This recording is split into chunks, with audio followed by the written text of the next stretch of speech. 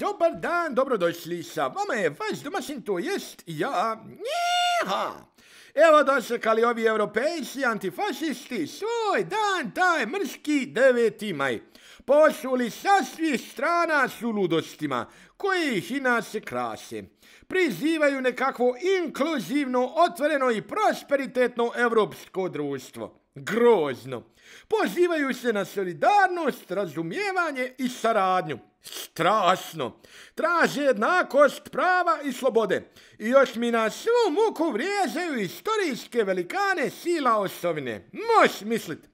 Prisjećaju se nekakvih istorijskih događaja u kojima su oni kao slomili fašizam. Za ne povjerovati. Kakve gluposti moram slušati. Dragi gledalci, nemojte brinuti. Samo ignorisite ove uznemirujuće sumove u komunikaciji.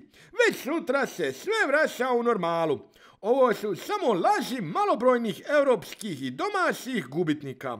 Hehehe, moji društveni pokusi istraživanja su jasno dokazali da se krda ne smiju miješati i misliti dobro drugima.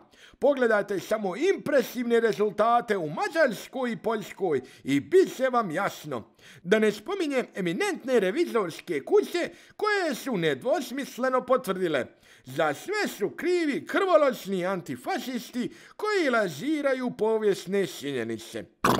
Da, da, zato se pripremimo za sve tu obljetnicu stradanja nevinih vitezova, gazija i vojvoda u pokušaju na Blajburskom stratistu u srcu Europe. Haja, ostajte dobro, zdravo i raspoloženo.